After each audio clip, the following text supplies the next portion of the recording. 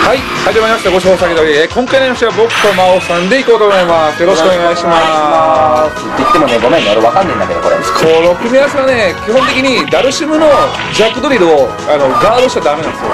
ダメなんだ。ダメなんですよ。タッチジャックパンチで落とし落とさないと、結局ガードしちゃうとそこから強力に2が待ってるんで、そう、そうさせないためにも、とりあえずドリルはとりあえず絶対見逃しちゃダメっていう、これがチュンリー側の事情。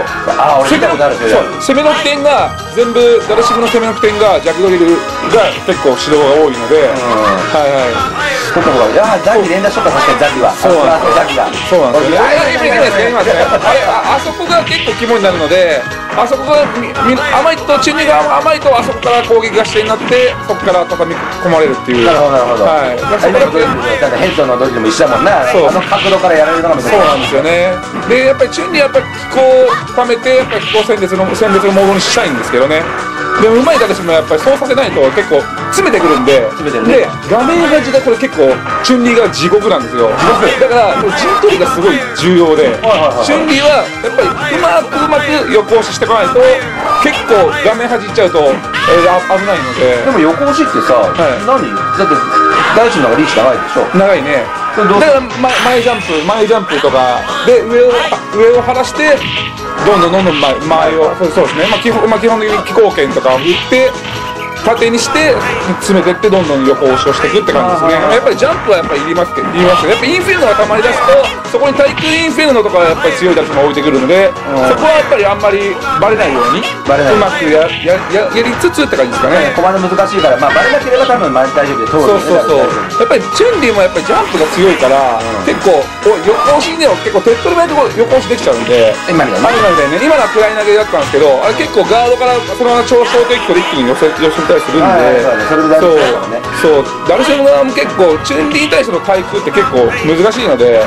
どういう角度で来られたら、誰しも嫌なんだろうね。うん、結構そ,、うん、とそうだね。斜め45度とかそれより近くなるとタッチシューパンチで相打ちが取れ取れるんですよダルシムは。はいはいはい。そう、タッチシュートパンチで相打ちが取れる前からの飛び込みはそんなにきつくないんですけど、で60じゃなくてやっぱ30、45そうさ、30度だから45度ぐらいから来る飛び込みがもうちょっと返しづらい。でそれを読んでた場合、まあまあ、当然スパコンが溜まってない時はもう何やっぱスライディングで近づけばいいのかそして中盤であれしてかだ何するんかなって飛ばれっぱなしだったらまあまあまあまあそうそうっすね。うん。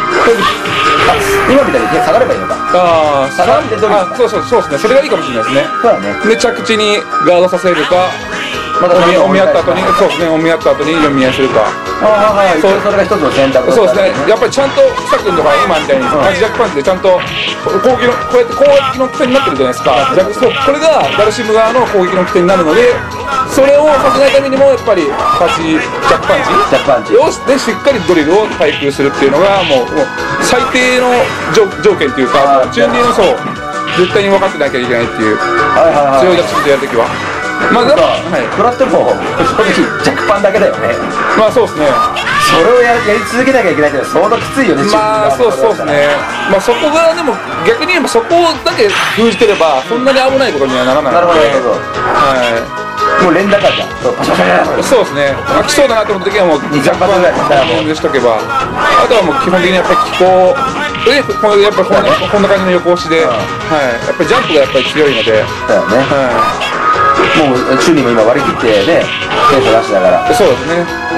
なんか三段食らう。やっぱりまああれはでも、うん、あそんなに、まあうんそうそう。チューリーはめちゃめちゃリスク高いわけじゃないから。基本的に飛べるのか。そう結構割とインフレがない時は結構割と安心して飛べちゃう。そうだよね。ああいう中華とかでああいう人取ったとしても向こうも次テンション溜まってるからそうそうそうそうそう。飛べないもんね。そうそうそう。一応ね回避方法結構あるからね、溜まりました突っ込みますで投げしますいやまあ典型的なパターンだよねこれそうパターンだねで落としますでもだだ今今戦列対空にならなかった。すごいね。もっと高いとこからっていうふうにねだからやるんだろうけれど。もあれ狙っ狙っ狙ってるよ狙ってるんだろうね、うんでも前歩前歩いたから近くなって高くなったのかあーあー歩いた分だけどああそういうことかうはいはいはいはい。んで戦列は食らわないで戦列出すんだったら前歩くでしょっていうことだからそういうことか。なるほどねなるほどねさあでもこのやっぱり強いダルシム相手にするとやっぱりチュンリーやっぱり楽できてないなと思いますねこれ。これ見てる感じだと。うん俺もそう思う。うん。飛び込むけどそう今の中だって相打ち取れるでしょあれだってそうそうね。中盤がやっぱり強いんでその後は陣が大事なんでしょ陣取りが大事ですね。でもうチューリーはまあねあの誰しも側か陣取られないように相打ちでダメージ負けしてもいいからもう中盤でどんどんどんどん相手をそうだね。誰しもそうだね。空中で返したら当然誰しも側陣陣地さらに取れますから。そうだね。中盤だともう誰しものターンになるからそうだね。これはどうやってダルシムがでもやっぱうまいダルシムは崩してくるんだよな。僕もチュンリー使うんで 崩される。え崩される。やっぱり強いダルシムは崩されちゃうんで。まあ、飛びにはさっき言ったバックからのドリルで1回やる。で、うん。前で相打ちもある、ん。当然ブラストもある一応、うん。そうだね。ブラストあるのかな。ブラストはでもそんなにはよっぽど近いところじゃないと当たんないのブあじゃあブララストはないか飛びがかり落とすって感じか、そうだね。ああなるほど。ねじゃあブラストではなくてやっぱりじゃあスライディング歩いてとかの逆パ逆パン落ちないか、中盤で相打ちだよね。みんな中盤中盤うん中盤かな基本的には回復は。その3つやって絞れない。で前にかあ何でもいい今のな斜めのところからバックジャンプ中キックで返してましたね高橋さん今そうかよもう最初から分かってるんだったらそっかそれが。でそれが正解なんですね。時にもしかしたら、ね相手が何ジャンプしてこなかったら、まあ、ドリルが落ちるとかもできそうだから。ああ一応ああああれもいいかもしれないですね。今前ジャンプ来たところに下がり通りですね。そうそうそう。あれの仕返し方がその2みたいな感じですかねで最初から分かってるさっき最初にねジャンプしてからっていうふうに、はい高いところ落とすんだったらどうせバレバレだからよ読みだよねそこは,、はいはいはい。でジャンプしてきてからだったらさっきのドリルは見てからだよね。そうだね。見てからでもできるし読みでも一応できるあもあるね。なるほどね。うん。まあ今しょうがなくなったんだけどそう今すごいですね。見てから戦戦列を見てからドリルで。そうだね。あれは もっと余裕があったらそのあの今日に変えて。一方勝ち一方勝ちしてね。できるんであればね、うん。ねなんかあの足が速い気もするけど。難しそうだね。うん。高さ見てあやべえと思ってもしかしたら宙に変えたのかもしれないよねすごいなでも博士さんはやっぱ関東にチュンリーが多いからやっぱりすごい経験値はやっぱりつだいぶ詰めてるんでしょうね。多分そうでしょうね、うん。すごいやっぱ多いですからね関東はやっぱりチュンリ多いねー使いがはい。じゃあ草は一体どこまでいけるのかってね今ねはい3勝いっぱいやってくれてやってくれてますけど、うん、はい、あこれ投げると誰にもできるやつだからねあれ、共通のやつだよねジャンプしたとこあれあれそこは確かに暴れちゃうな。流れるねやっぱりね。でも離陸に当たった感じがもしかしたら見てからもうちょこっとだけもう浮いてたかもしれない。ああはいはい映像には見えないけれどもっていうのがたまにありますから、はいはいはい。まあ、他人のドンピシャだ本当に飛行に見てからドリルとか今やっていけるのかな誰しもいけるのかないけるテンション読みだよねこれもどうせ、うんジャンプ読みかテンション両方するんだったら得意だよね。うんあやっぱりゲージ回収結構やっぱり博士してますね。うん。うん。やはりインフェルノだとやっぱりとやっぱり飛びが抑制されるので相当でかいですねやっぱりね。あれ強いよね本当にそしたら。ただこっから死ぬんで誰しもだけで十分死ぬね。十分死ぬから。3発分だこれ。誰しもやっぱそういう点がね。う規制厳しいかな。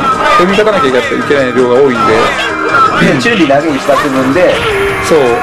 誰しも3回ぐらい。3回ぐらいだよね。そうだけないと程遠いよね本当にね。うん。うんあでも草君結構高橋さん相手に頑張ってますね。これどっちが有利なんだっけ？チューリー有利なん。だっえー、でもやっぱりどうなんでしょうね。一応ダルシム有利とは言われています。けあ誰しも有利？ただダルシム有利なんですがただできて全部できてっていう話だけですでやっぱ博士レベルの基準にしてみようね。そうしたらそうそしたらそうたら誰しも有利だから僕も抜きさんに聞いただけなんでああ。まあチュンリー視点でダルシム使いからしたらもしかしたらチュンリー有利でしょそんなのって言うかもしれないですけど。かもはい。でも見てる限り確かにね若干のお釣りがねチュンリーがのやっぱビンタがさうん。まあ言ってもね安いから。咎められないっていうのがね何回も何回も来ちゃうからさそうだね。そっからなんかチュンリーが作れてればいいんそうだねたかだかジャックパンだろって感じそうそうそう俺もバオのバオの理論だよねそうそうそうそうえーと何これ10回当たってもこんだけだろってそうそうそう結局そこだよね俺物量作戦っていう。ね誰しも1回成功したら次も強いわけだかそうそうそう。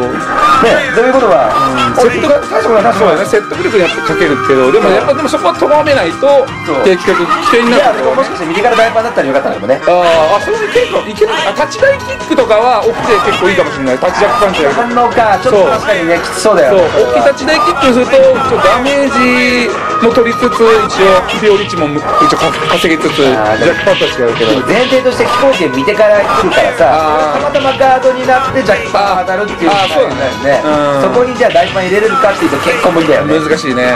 じゃあジャックパンしかねジャックパンだなやっぱり。なんかねあシャルゲンキックでなんか変わった少し変わっただから。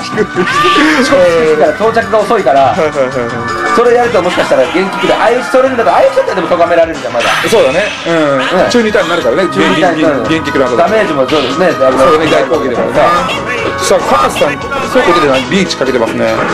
誰しも入れられる誰しもねえ博士さん言うじゃん博士さん言うごめんなさいごめんなさいそうだねあ世間のダルシム機械の人はねこのぐらい言ってるかってそれはないでしょ悪いけど。これチュンリーむちゃくちゃ難しいんですよチュンリー戦は本当に。ダルシム使いとしては本当に。だろうね。だってこんなね強力なもん押し付けられるわけ機動力あるこのベガとかチュンリー戦とかはやっぱり誰しもやっぱ難しいんですよね。そう本当に。草が待っとるな もうすぐじゃああの博士レベルぐらいの草になってくれそしたらチュンリーになってくれ。そうだね。やっぱり気候戦列モードだけで倒せちゃうのがやっぱりダルシムチューニングなんですけど、やっぱりそれよりやっぱり一個上行くともう一気にもうそれだけで絶対倒せないよっていうのはまあね、タックアウトやって反応遅れちゃうからね、そうそうそうそう。今までできてたものができなくなるってのもあるしね、でもあと周り、これやっぱりムカつきよね、周りが、そう。ダルシム相当長いよ、ね、そうそうあの投げた後見てると分かると思うんですけど不利になるんですよ。あのダルシムそうだあのチュンリー側が。そうあの後投げた後不利になる唯一不利になっちゃうんですよねこのチュンリーダルシム。それかわいそうそう。多分それが多分抜きさんとかが多分不利って言ってる要素の一つでもあるんじゃないかなまあ、チュンリーといえばね、目玉ですから、そうそう。投げがやっぱりやっぱり一番強い技ですからチュンリーは。戦列か投げですからねやっぱりチュンリーは。その投げの後に不利になる。不利になる読み合いっていうね。タック負けすると危ないですからね結構。背中蹴りとかもブラストとか確かもらうんかな？そうだね。そう。危ないから結構向こうのカウンターのチャンスを上げちゃうんでね。2分の1で簡単だよね、そう。ね。だから攻撃の点からいきなりピンチになるっていう可能性もあるので。かわいそうだよね。うん。だから結構難しいからやっぱりでも陣取り優先だったらやっぱり投げずに結構集中そうとかで押すのも結構そうだよね、後ろに余裕があるとやっぱりね、そう。いつでもそう。大分飛ばれても大丈夫だよってなっちゃうからね。そう。いつでもやっぱり下がれるっていうのはうん。でこれ画面端きついんだよこれ。あこれ今さ 一気に一気にカウンターで見らしてるけどなかなかね強い出し方って位置が入れ替わらないの。そうだね。そう。位置が普段入れ替わらない。本当に。そうこうこうなるんですよね。普通にね、あのそう。パンチも邪魔だからね、やっぱり、そうそうそうそうそうやっぱり飛んでも中盤がやっぱり、ま、中盤体育が待ってるんでなかなか位置を入れ替えれないんでね。そう。ということはやっぱり陣取りか、陣取りだね。投げずに陣取りか。そう。じゃあできる限り持続するなんか予行しかできればそうだね。やっぱりやっぱ気候圏なんだよ。結局チュンリーは気候圏打たなきゃいけないんだけど。飛行機打ってでもそこで一回終わらない？そう気候圏打っても気候圏の打った同時にも前ジャンプとかでかぶせに行くのも全然全然あるよね。全然あるね。そうそうあそう終わった終わっちゃいましたね。さあ勝ったのは博士さんセットカウント5-3いや強いですねやっぱり。強えな。博士さん強いよ